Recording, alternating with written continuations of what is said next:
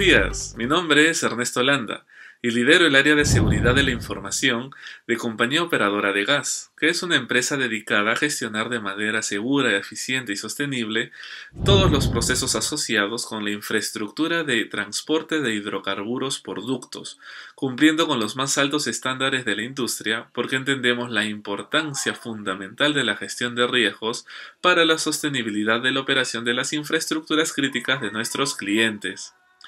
Estoy muy agradecido con la Universidad del Pacífico por la invitación y ante todo quiero desearles un feliz miércoles a todos ustedes, esperando que se encuentren bien de salud, al igual que sus familiares y seres queridos, sobre todo en estos tiempos de pandemia, donde el COVID-19 ha puesto en evidencia la crisis de los modelos existentes en los distintos sectores de la sociedad.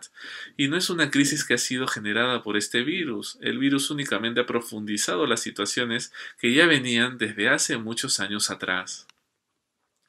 Y es que como dijeron en un congreso virtual que llamó mi atención hace tres semanas, no hay pasado sin futuro ni futuro sin pasado. En un panel de historiadores analizaron el impacto de COVID-19 desde el punto de vista de la importancia que tiene integrar la asignatura de historia como parte fundamental de todas las demás asignaturas y profesiones. Y es que si en el pasado nos hubiéramos preocupado por reforzar el sistema de salud contra las pandemias, hoy en día la situación sería distinta. Sobre todo teniendo en cuenta que hace 102 años enfrentamos una pandemia similar de la que aprendimos mucho, pero no lo suficiente para evitar que la historia se repita. En el 2015, Bill Gates alertó en una charla TED que se volvió viral al inicio de esta pandemia que la peor amenaza de la humanidad no eran los misiles de una guerra nuclear, sino los microbios y virus que pueden provocar epidemias y pandemias. Dio a conocer que los fracasos globales en los sistemas contra la propagación de epidemias y pandemias no se debieron a fallas en estos sistemas, sino que estos sistemas no existen, así como tampoco existen epidemiólogos suficientes en todo el mundo para analizar ni diagnosticar estas enfermedades en un tiempo adecuado y que al mismo tiempo puedan estudiar los tratamientos o técnicas para evitar su propagación. 102 años han pasado desde el brote de la gripe española, donde se descubrió por accidente, por casualidad, que el distanciamiento social era una forma efectiva de frenar el contagio, y hoy la utilizamos no porque sea efectiva, sino porque no nos queda de otra. En estos 102 años, ni los gobernantes ni líderes de salud mundial, salvo honrosas pero escasas excepciones, tomaron con la seriedad debida en su análisis de riesgos y amenazas para sus naciones el brote de una nueva pandemia. Tampoco se preocuparon en capacitar a los ciudadanos en cómo usar una mascarilla, la importancia del distanciamiento social y en general qué medidas tomar ante una pandemia. Y esto es porque bajo el sustento de que si no ha pasado hace más de 50 años no va a suceder el próximo año, justifican que no vale la pena invertir en esto, sobre todo teniendo en cuenta que no hay un retorno de inversión inmediato. Pero si bien las probabilidades eran bajas, no eran nulas, y el riesgo de que esta amenaza se materializara siempre estuvo allí. ¿Y a dónde quiero llegar con todo esto? Y es que adivinen qué, esto es exactamente lo mismo que pasa con la ciberseguridad hoy en día. Por eso me he tomado tiempo en contarles todo esto. Las ciberamenazas o amenazas en el ciberespacio son tan invisibles y letales como el COVID-19. Los delitos informáticos han aumentado en forma exponencial desde que empezó la pandemia en todos los sectores de las sociedades alrededor del mundo. Y esto no es una coincidencia, es un efecto normal, porque actualmente la tecnología es parte de la sociedad, es una necesidad en toda profesión y ámbito de nuestras vidas. Pónganse a pensar, en el mundo existen niños que utilizan una tablet o un celular desde muy temprana edad.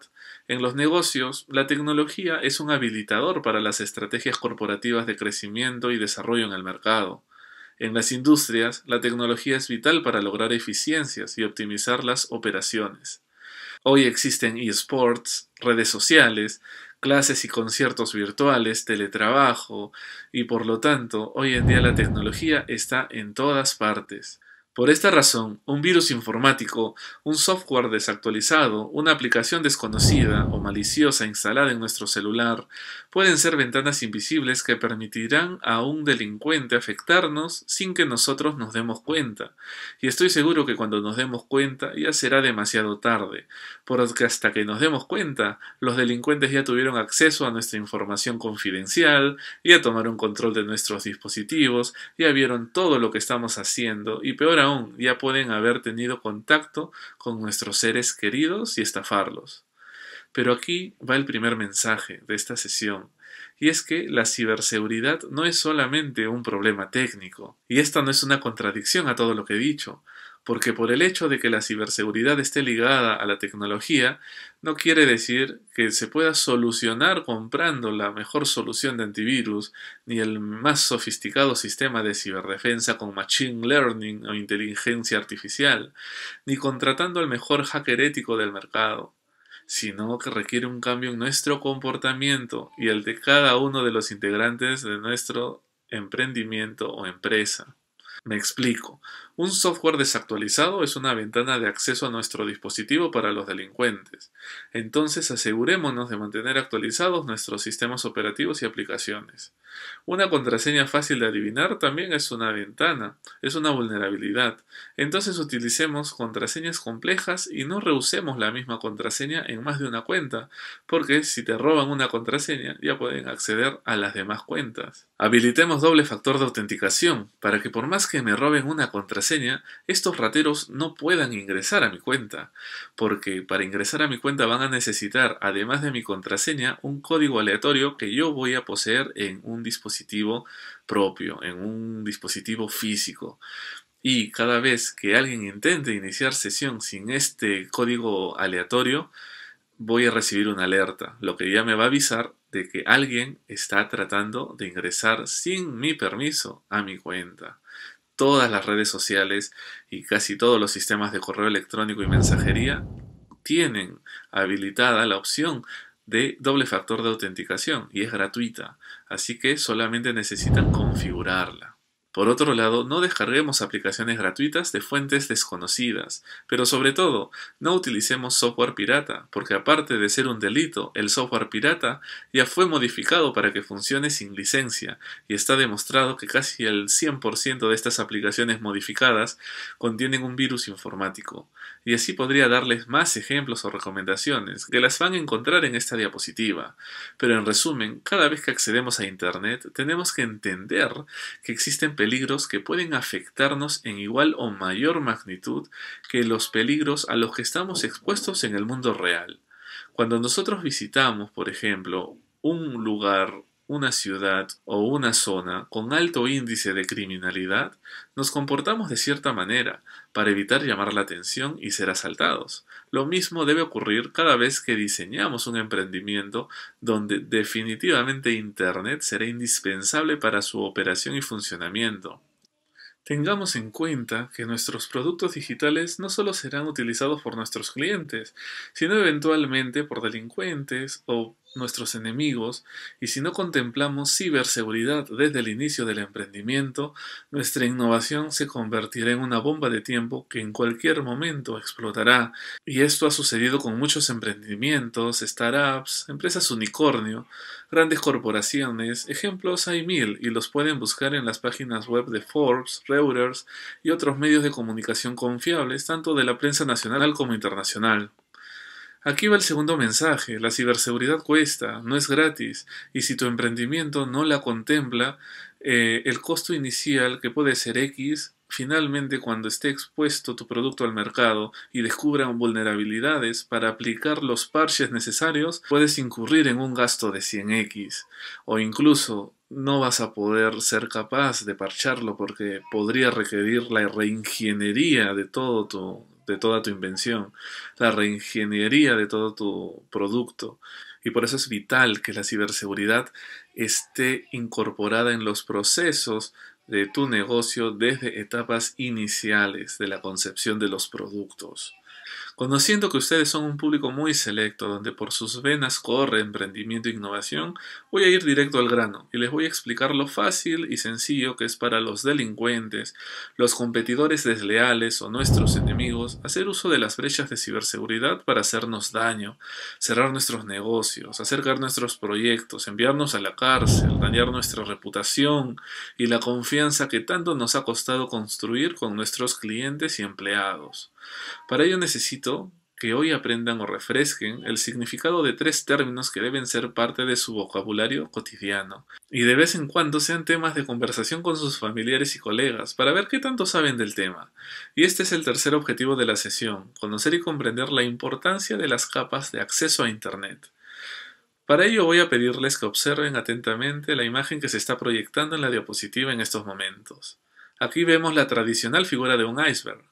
Quiero que se imaginen que toda la imagen representa el contenido que se encuentra en Internet. Desde las profundidades del océano hasta las alturas del cielo hay contenido en Internet, incluso dentro del iceberg. Con contenido me refiero no solamente a información, sino también a redes sociales, aplicaciones, juegos, sistemas de información en la nube, cloud computing, etc. El primer concepto es el de la Internet superficial o Internet pública. Esta es la capa de Internet que alberga contenido libre al cual nosotros podemos acceder tranquilamente desde nuestras computadoras o celulares. Lo único que necesitamos es una buena conexión a Internet y tiempo. Todo lo que está en Internet superficial es público, y por lo tanto es visible a los indexadores de los buscadores de Internet como Google y Bing. Estos buscadores almacenan en sus bases de datos todo el contenido que escanean y mediante sus sofisticados algoritmos nos facilitan la vida. Por algo son la principal herramienta de trabajo e investigación de muchos profesionales y estudiantes en todo el mundo. El segundo concepto es el de la Internet profunda, o más conocida como la Deep Web, esta capa contiene información privada, que es inaccesible desde la Internet superficial. Se dice que la Internet profunda tiene el 90% de toda la información disponible en Internet, y es la obsesión de hackers y delincuentes acceder a ella por la cantidad de información privada y confidencial que contiene. Los buscadores como Google o Yahoo no pueden ver el contenido que está en la red profunda porque se requiere un acceso especial. Por ese motivo no lo pueden indexar. Este acceso especial puede ser una VPN, como el que muchas empresas utilizan para habilitar teletrabajo, o algún mecanismo de identificación o autenticación. Por ejemplo, los resultados médicos, los estados financieros, los estados de cuenta requieren algún mecanismo de acceso para poder ser visibles a los clientes o pacientes correspondientes. Y finalmente, el tercer concepto es el más peligroso de todos y el más importante que debemos recordar. Es el de la Internet ilegal, también conocida como Dark Web o Darknet. En esta parte de la Internet profunda podemos encontrar todo tipo de contenido ilícito, criminal, bizarro, obsceno y lo peor que nos podamos imaginar, pero que no es parte de esta presentación detallar.